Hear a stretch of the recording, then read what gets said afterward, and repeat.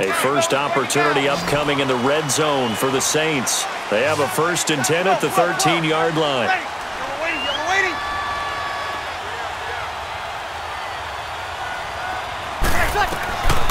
Brees going to throw.